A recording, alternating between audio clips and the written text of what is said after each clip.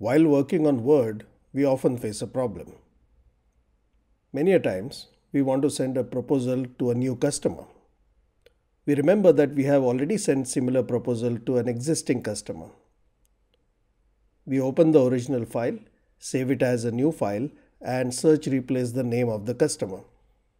Sometimes the name of the old customer remains and that can create a lot of trouble for you. So here is a brilliant way of using a very nice feature of Word called fields so that you never have that particular problem. Instead of manually typing the name of the customer every time, what you should do is create a field. Go to File menu, Info, Properties, Advanced Properties. The last tab allows you to create custom fields. So I'm going to create a field called Customer Name and type the name of one of the customers. Just click Add. Assume this was your sales proposal.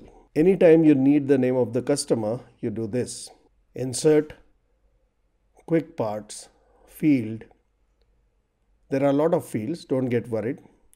Choose one of the categories called Document Information and within that Doc Property which gives you all the document specific properties.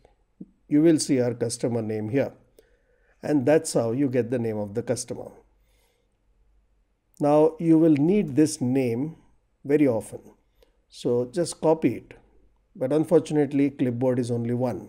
We need multiple clipboards. So you go to home tab, clipboard and click on this small little button which gives you 24 clipboards. By default the clipboard will be empty. Just select this field and now copy. So now it stays there in the clipboard for reuse anytime. Now I'm just going to put a title, give it a title style. Now anytime you need that company name, just click on this guy. Notice that this is not just text. There is a gray highlight there. Whenever you see a gray highlight when you click anywhere in Word, that means it's like a formula. It's a field which gets recalculated. Now I'm just going to add some random text.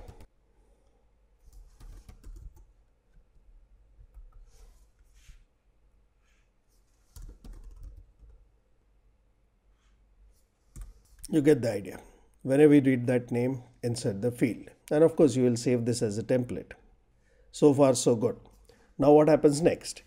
Now, next time you need to create a document and need to change the name of the customer, what do you do?